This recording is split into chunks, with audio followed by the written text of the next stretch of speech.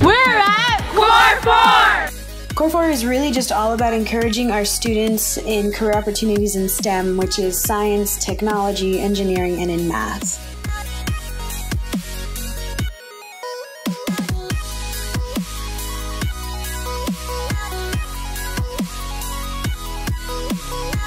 My favorite part was Kate the Chemist. It was very fun and it made me more inspired to want to do science. I have an outreach program called Fun with Chemistry and what we do is we go out to local Austin schools except for now San Antonio and we blow stuff up and we try to show kids that science is fun and entertaining. You don't need to be a dork or a nerd to like science. You can just be a normal girl or boy who likes to blow stuff up, play with fire, and likes explosions, which is me. Over the course of my years, a lot of people have been saying only guys can do this or only guys can do that, especially in many STEM fields. But now that I'm seeing like first girls did this and the first girl to do that, that just like makes me think maybe I can be the first girl, especially in the STEM fields. It's gonna be the future, especially for many of the girls.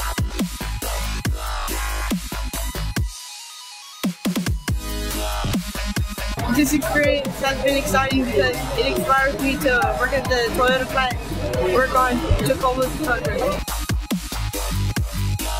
Toyota commits to Core 4 STEM because we realize that by the time they get to high school, a lot of these kids have already made a decision on whether or not they're going to go into a science, technology, engineering, or math uh, field. We want to try to get to them a little bit earlier let them see that these paths are open to them from the earliest age and they can start you know signing up for those classes being open to those classes talking to their counselors uh, before they get to high school. So by the time they get to their freshman year they're already they've already chosen that path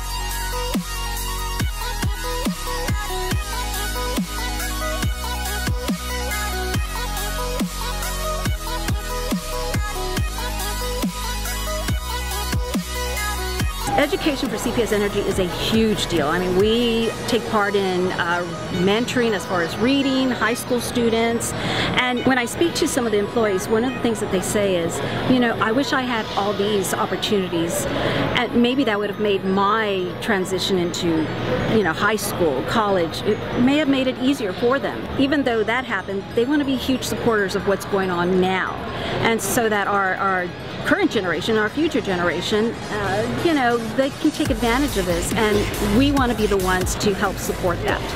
So it is our job to be involved and to motivate other students, younger students, to, to take part in STEM as well.